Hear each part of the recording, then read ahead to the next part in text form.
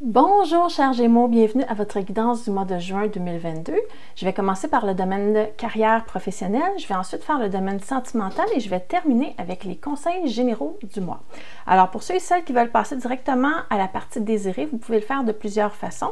Vous allez soit en dessous de la vidéo dans le minuteur, vous cliquez sur le chiffre en bleu qui correspond à votre chapitre préféré ou sinon, dépendant de votre appareil, vous avez des images avec les chapitres aussi qui apparaissent à quelque part dans votre écran. Euh, ceci dit, je veux juste faire une mise en garde générale que, euh, évidemment, il n'y a que 12 signes astrologiques. C'est une convention. On ne peut pas faire des messages individualisés pour chaque personne. Euh, je sais que vous, vous, êtes capable de faire preuve de discernement aussi. si le message n'est pas vraiment adapté à votre situation, laissez ça de côté, changez de vidéo, allez voir la vidéo de votre ascendant, changez de tarologue. Il n'y a aucun souci. Euh, j'essaie de transmettre le plus possible de messages à votre signe, mais évidemment, comme je vous disais, c'est impossible de parler à tout le monde. Donc, euh, peut-être que le message n'est pas nécessairement pour vous. Forcez pas les choses, c'est ce que je veux dire. Ça donne rien, OK? Donc, euh, on va aller voir tout de suite le domaine pro pour le mois de juin 2022. Mes chers Gémeaux. On va aller voir si c'est des choses qui avancent, des choses qui progressent des nouveaux départs, des remises en question, si vous attendez un contrat, si ça va être signé, etc. C'est ça qu'on va aller voir.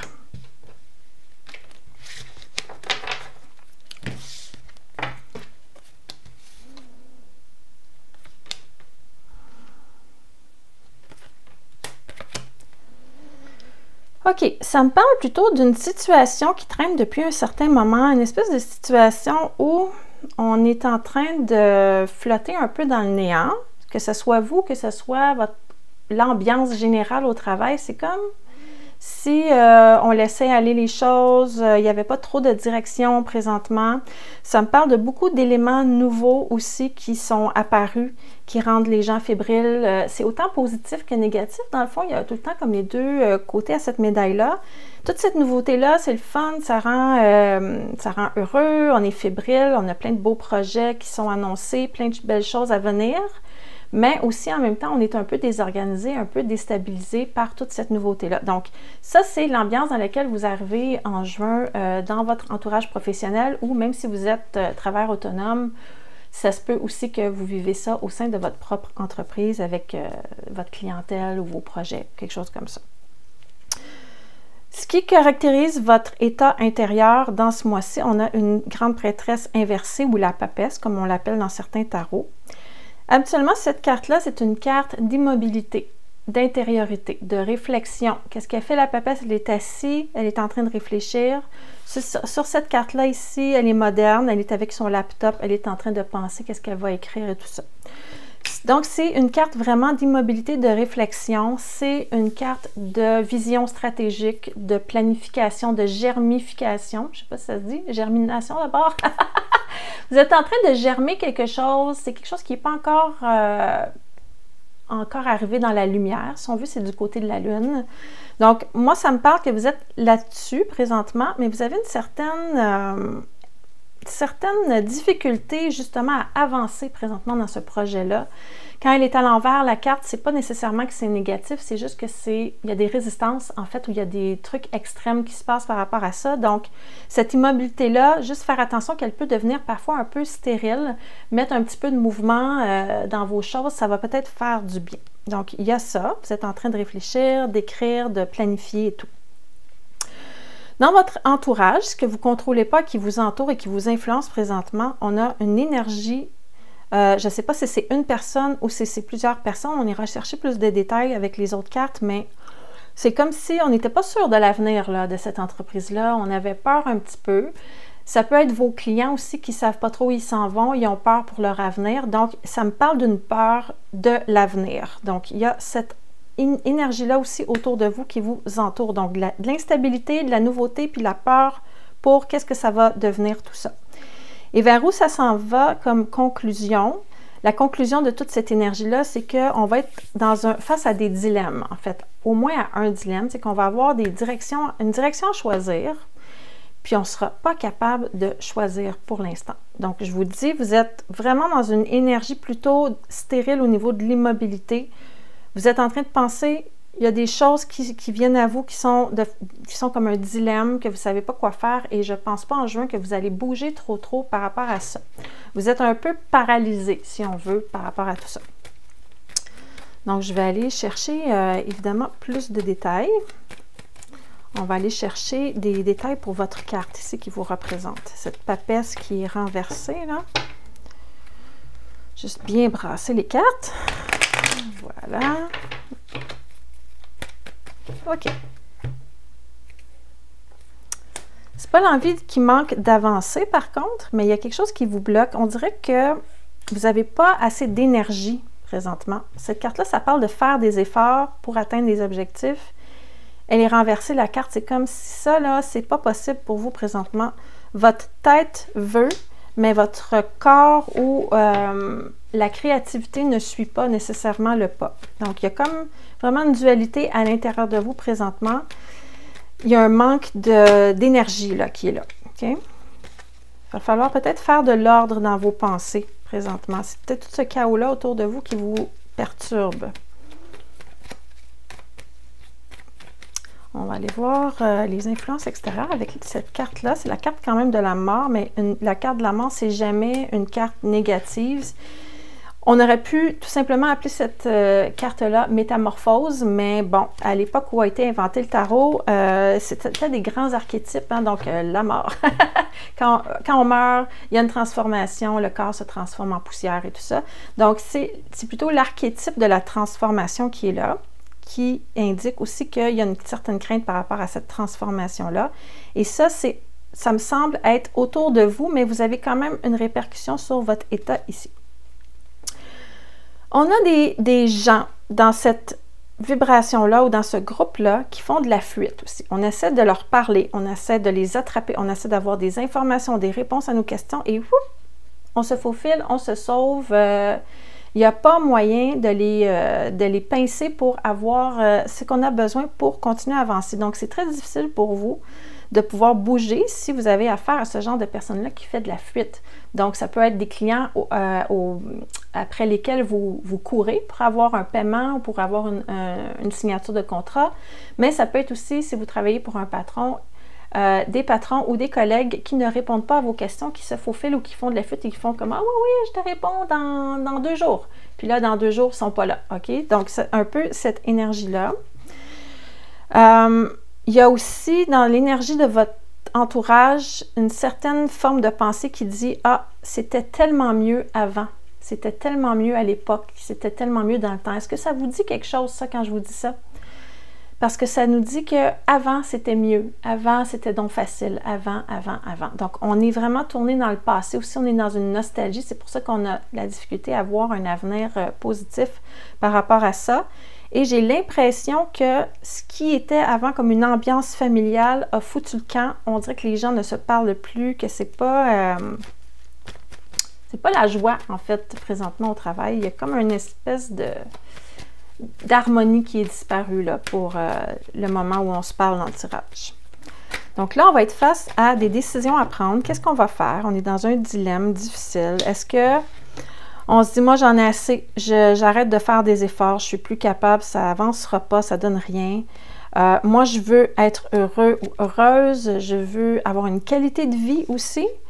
Et euh, je suis bien déterminée et persévérant. Je veux faire des efforts, mais il ne faut pas que les efforts se fassent dans un, juste dans un sens. Il faut aussi que euh, ça soit, il y ait une réponse en fait de votre entourage professionnel. Donc, c'est là que vous êtes présentement.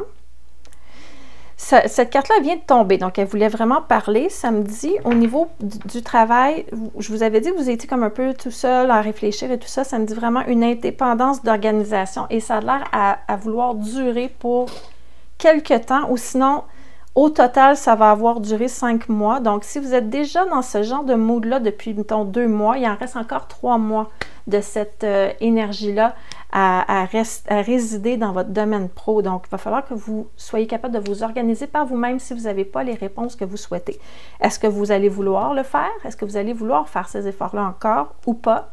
C'est là que vous allez devoir faire votre choix. En fait, le choix, il vous est laissé entre les mains. On vous dit, faites ce que vous voulez. L'important, c'est d'écouter votre âme et euh, c'est le plus beau cadeau qu'on puisse vous faire. En fait, on ne vous dit pas exactement où aller, dans quelle direction. Ça dit juste si tu choisis le chemin qui, que tu écoutes ton âme, tu vas aller dans la bonne direction.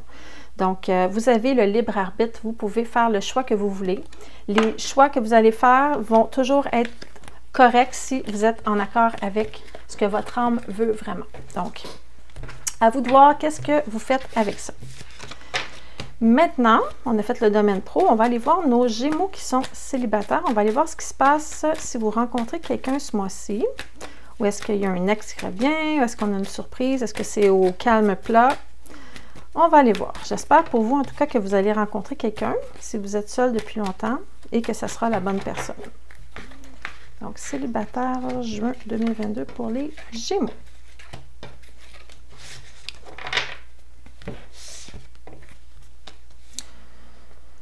Vous êtes quand même euh, sûr de vous, vous êtes en équilibre, vous, prenez vos décisions, vous êtes assumé, vous êtes sérieux dans vos démarches. OK, donc, de votre côté, ça va pour les recherches sentimentales. Euh, je vois aussi qu'il y a eu vraiment euh, une coupure qui a été faite. Si ce n'est pas très, très récent, c'est encore dans votre énergie. Donc, pensez à la dernière relation que vous avez laissée. Ça me dit, il y a vraiment une coupure avec le passé qui a été réglée et je vous crois parce que j'ai l'empereur qui vient juste après. Cette carte-là nous parle vraiment de l'énergie, l'empreinte énergétique dans laquelle on arrive en juin. Donc, vous étiez dans une énergie vraiment de deuil, de laisser aller, de, coupure. Et là, vous êtes retombé sur vos pieds et vous êtes prête à nouveau à vous lancer. Vous êtes sérieux, vous avez guéri vos blessures et vous êtes prêt. Euh, j'ai devant vous ici euh, la carte de l'étoile. L'étoile, habituellement, c'est un espoir qui se concrétise. Cet espoir-là, la carte étant renversée, c'est un espoir qui se concrétise, mais qui prend du temps et qui retarde. Donc, ça fait longtemps que vous attendez de rencontrer la bonne personne, vous courez après le bonheur et ça n'arrive pas, etc., etc. C'est un peu la représentation de cette carte-là ici. Ceci dit, j'ai la carte de l'amoureux quand même, euh, les amoureux en finalité, qui même si c'est souvent analysé comme une carte de choix, c'est aussi une carte qui représente une rencontre sentimentale et un engagement. Donc là, je suis vraiment curieuse d'aller voir votre tirage par rapport à ça parce que ça ici, habituellement, c'est euh, vraiment une rencontre sentimentale puis un engagement amoureux. Donc, euh, on va aller voir qu'est-ce qui se passe par rapport à ça. Je vais aller chercher un petit peu plus de détails, si vous me permettez, pour la carte de l'empereur qui vous représente, cet empereur-là qui est sûr. J'ai le chevalier de denier, donc c'est la même énergie que l'empereur. Ça, c'est une confirmation en fait que vous êtes euh, vraiment rendu à l'étape de prendre vos responsabilités au niveau sentimental. Vous êtes mature et tout ça. La déception, c'est terminé. On met ça de côté. On passe à autre chose. Euh, vous savez ce que vous voulez, mais en même temps, vous êtes quand même assez ouvert d'esprit pour ne pas... Euh, comment je pourrais dire ça, ne pas vous mettre trop de critères euh, sélectifs. Vous êtes quand même euh, ouvert à la, nouveauté. Et habituellement, je ne prends pas la carte qui est ici, mais là, je la trouve intéressante parce que j'ai l'as de coupe ici, puis ça m'a attiré mon attention. Ça dit vraiment nouvel amour ici. Donc, c'est comme s'il me faisait un petit coucou, là, le tarot, puis il me disait dis-lui qu'il va y avoir vraiment un nouvel amour. Donc là, je vais la mettre là. C'est une exception. Habituellement, je prends juste trois cartes. Mais là, moi, je pense que il y a vraiment quelque chose qui s'en vient pour vous ce mois-ci. On va aller voir l'étoile. Ça va nous parler peut-être de cette personne qui s'en vient. OK. Wow! OK. Vous allez rencontrer quelqu'un. Moi, je pense que ça va être dans une atmosphère euh, plutôt bucolique. Vous allez dans la nature, vous allez dehors, il va faire beau. Euh, ça peut être une soirée où il y a des feux d'artifice, ça peut être un événement dans un jardin, ça peut être sur le bord de l'eau, ça peut être dans un camping où il y a des moustiques. En tout cas, c'est comme vous êtes dehors, OK? Puis il y, a, un événement, il y a une fête ou il y a un rassemblement. Ça, c'est dans cet univers-là que vous allez rencontrer l'autre personne. Il va y avoir un échange vraiment euh, super, euh, super sympathique, euh, super facile d'accès. vous êtes en train de vous échanger des choses. Ça peut être que vous attendez à, un comptoir pour prendre un breuvage, puis l'autre personne elle arrive, puis vous rencontrez. C'est qu'un exemple, mais ça peut se passer un peu comme ça. On parle d'une personne qui a fait des changements dans sa vie, qui est capable de s'adapter aux nouvelles situations et qui est sorti récemment de certains schémas répétitifs, donc qui a réglé aussi euh, des vieux patterns relationnels désuets. Donc, vous arrivez avec quelqu'un qui est prêt aussi. Et ça va être une, vraiment une relation qui va débuter sur une notion vraiment de partage équitable. Il y a de la joie de vivre, on a envie de chanter, on a envie de danser, on a envie de rire et tout ça. Donc, il y a vraiment beaucoup de bonheur qui s'en est pour vous en juin.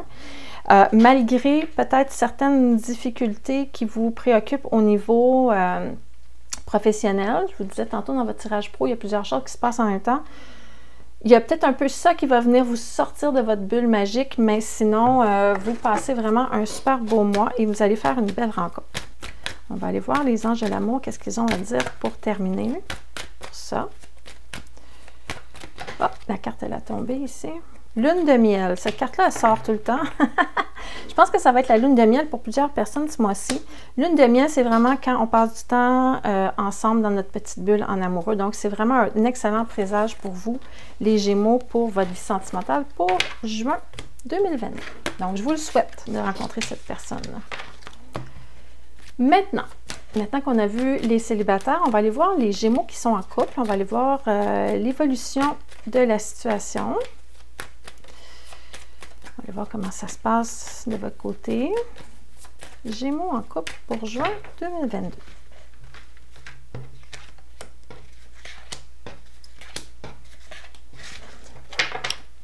Si vous n'êtes pas sûr que vous êtes en couple, vous pouvez essayer les deux segments de la vidéo, célibataire et couple, voir c'est quel qui vous euh, parle le plus. Bon, j'ai vraiment des cartes super intéressantes ici euh, surtout la finale, ici, l'empereur. L'empereur, c'est la stabilité, la décision, le fait de vraiment euh, bâtir quelque chose de solide avec quelqu'un. Donc, il n'y a vraiment aucun mauvais présage dans votre tirage. Euh, du côté du partenaire, je sens vraiment une énergie forte d'amour avec vous. Le lien, il est très fort. Pour votre côté ici, vous êtes peut-être un peu plus réservé, un peu plus dans votre tête, mais ça ne veut pas dire que vous n'êtes pas intègre parce que la carte de la papesse, quand elle est droite comme ça, ça parle d'intégrité et de vérité. Donc, vous êtes vraiment dans votre vérité, vous êtes authentique, vous êtes honnête. Euh, les deux, vous vous regardez, donc ça veut dire qu'il y a vraiment un intérêt commun pour les deux. Vous êtes en train de bâtir quelque chose de vraiment très stable et très fort. Et tout ça provient du fait que tous les deux, vous avez énormément évolué dans les dernières années au niveau spirituel. Donc, euh, on est vraiment dans une relation euh, mature, si on veut. Mature au niveau euh, des comportements, en fait. Il n'y a pas de game, il n'y a, pas, a pas rien de superficiel dans votre relation. C'est la vérité. C'est super beau à voir ça romantisme en plus. Ici, on a du romantisme avec ce beau chevalier de coupe, euh, chevalier de coupe, c'est ça, qui arrive avec une coupe remplie d'amour, qui a vraiment de l'amour à offrir, de l'amour à donner. Parfois, peut-être un petit peu de conflit au niveau des idées, mais c'est quand même quelque chose qui peut être stimulant pour vous parce que vous aimez bien euh, discuter de plusieurs sujets. Donc, je ne vois vraiment pas un obstacle par rapport à ça. Moi, je pense plutôt que ça vous stimule. Et il y a la carte de l'accomplissement. Donc, c'est comme si là, vous êtes comme, ah, là, j'ai vraiment je suis arrivée à un niveau là, de, relation qui est vraiment satisfaisant. Je suis content et je ne veux pas partir de là. Donc, euh, donc, ça va super bien pour vous au niveau sentimental. Je vais aller voir votre partenaire. Qu'est-ce qui se passe? L'énergie ici, le bonheur. Voyez comment vous êtes bien ensemble? C'est ça, la lutte. Ça, c'est quelqu'un qui lutte pour rester au sommet. La carte, elle est renversée. Ça veut dire qu'il n'y en a plus de lutte.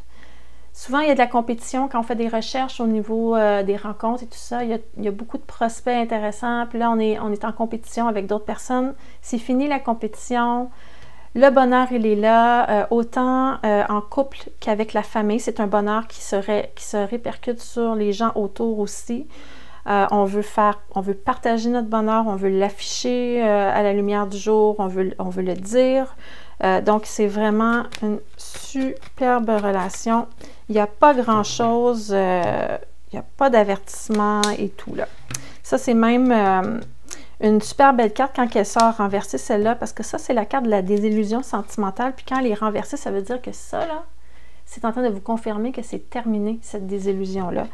Euh, il y a beaucoup de sentiments amoureux et ce n'est pas un effort d'aimer cette personne-là. Donc, vous avez vraiment, vraiment, vraiment un super beau tirage. je suis contente pour vous, les Gémeaux, parce que ça n'a pas toujours été facile euh, dans la dernière année. Je me souviens de vos autres tirages, pas tous, mais c'était quand même, euh, quand même assez ardu pour vous. Puis il y a la passion en plus. Vous voyez comment c'est intéressant ce tirage-là? Vous êtes vraiment amoureux, en tout cas. Bien, tant mieux. Chantez, c'est quoi ça dit? Ça dit, permettez à votre âme et à votre cœur de chanter gaiement. Je vous l'ai dit tantôt, vous allez vouloir euh, le dire à voix haute, le répandre sur ce bonheur-là sur les autres. Donc, c'est vraiment un euh, super beau tirage. Maintenant, pour terminer le tout, je vais terminer avec un conseil spirituel. Puis après ça, la vidéo, elle va être terminée. Donc, euh, je veux un conseil spirituel pour nos Gémeaux, s'il vous plaît.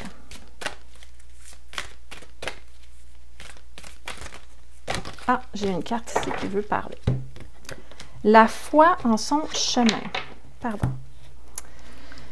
La force de l'abandon en notre foi intérieure fait de nous des êtres capables d'avancer malgré les embûches sur notre chemin car le travail fait partie de l'accomplissement.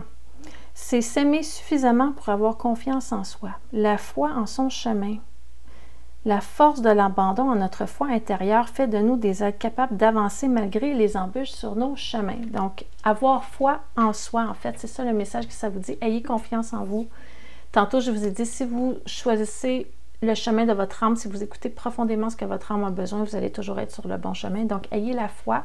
Il n'y a pas qu'un seul chemin possible. Vous pouvez choisir le chemin en autant que vous écoutez votre âme. Donc voilà, c'est ce qui complète la guidance pour juin 2022. Si vous avez apprécié la guidance, vous pouvez toujours me laisser un j'aime ou sinon un commentaire. Je vais lire vos commentaires, même si je ne commente pas toujours. C'est sûr que je vais lire votre commentaire. Et si vous voulez euh, être capable de voir les vidéos suivantes pour les mois prochains, les vidéos gratuites, j'en publie une par mois par signe astrologique. Vous pouvez vous abonner à la chaîne à ce moment-là en cliquant sur le bouton subscribe ou abonnez-vous sur la page principale, euh, sur la grande image. Il y a un bouton pour s'abonner. Alors voilà, je vous souhaite un excellent mois de juin. Merci beaucoup pour votre écoute, pour votre confiance et au plaisir de se revoir, je l'espère bien, le mois prochain pour votre prochaine guidance. À bientôt!